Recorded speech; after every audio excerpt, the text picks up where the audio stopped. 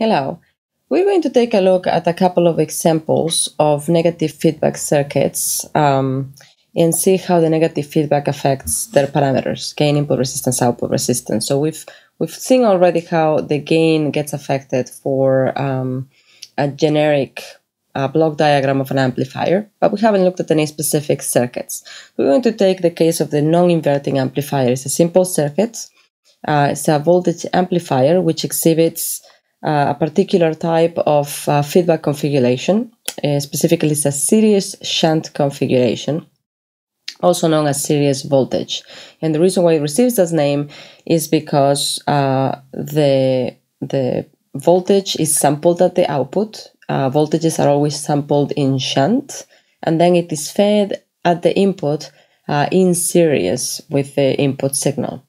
And so that's why it refers, you know, series shunt is fed back in the input in series, is um, sampled at the output in parallel or in shunt. Um, also series voltage because uh, it gets input uh, or it gets fed at the input in series with input signal, and then what we sample at the output is a voltage.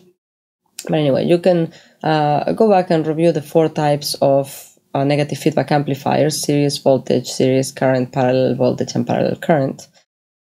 Um, but we had already uh, studied previously how the, the series voltage shunt configuration was the ideal configuration for a, a voltage amplifier. And we're going to see very soon why.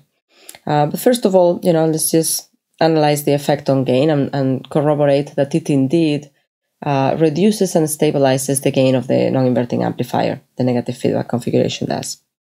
So I have my non-inverting amplifier, input signal being fed into the non-inverting input terminal. I have my feedback network comprised of resistors R1 and R2. Um, I'm going to draw a little box around my feedback network so that we understand this is what I have previously labeled as beta. And in this case, uh, my beta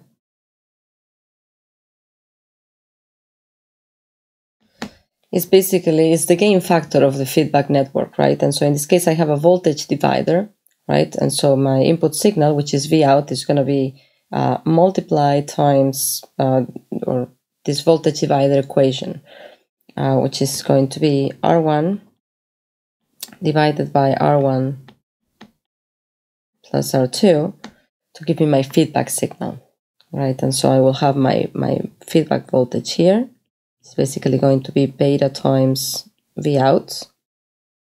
And then I can see that my new input at, um, at the input of the op amp, in this case, I'm going to have my error signal, which is basically uh, the difference, the error is V in minus VF, which we can see it is the case. Uh, VF is being added in a subtracting manner just by the circuit configuration.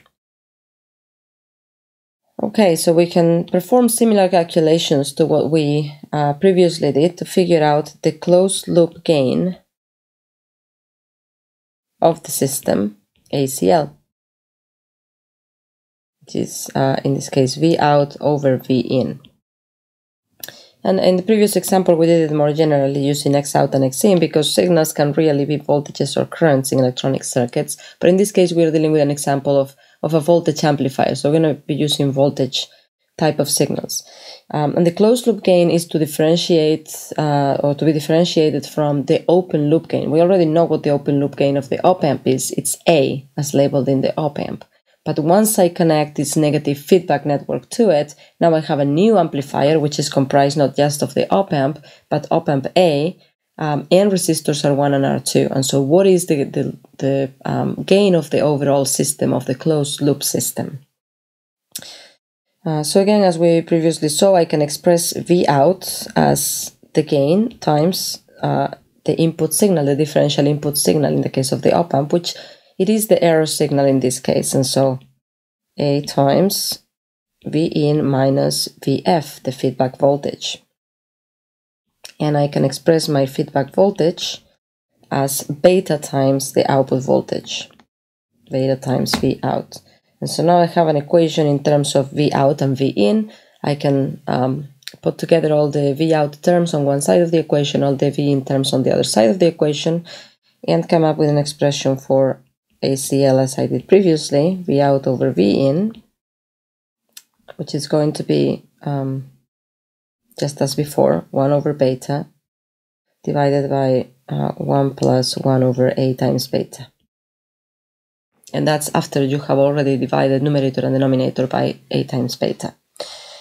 So same expression as before, um, but let's see what that means in this case. So I have 1 over beta. What does that mean in this case? So if beta is r1 divided by r1 plus r2, then 1 over beta is r1 plus r2 divided by r1 and all that divided by 1 plus 1 over a times beta. And um,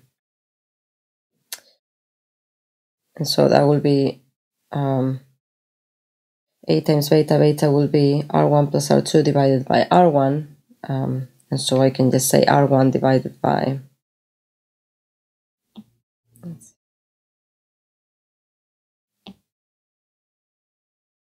1 plus um, 1 over beta is r1 plus r2 divided by r1 and then an a in the denominator.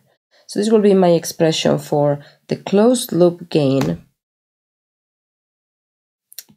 um, of the non-inverting amplifier. Now you may say, well, that's not the expression I'm familiar with.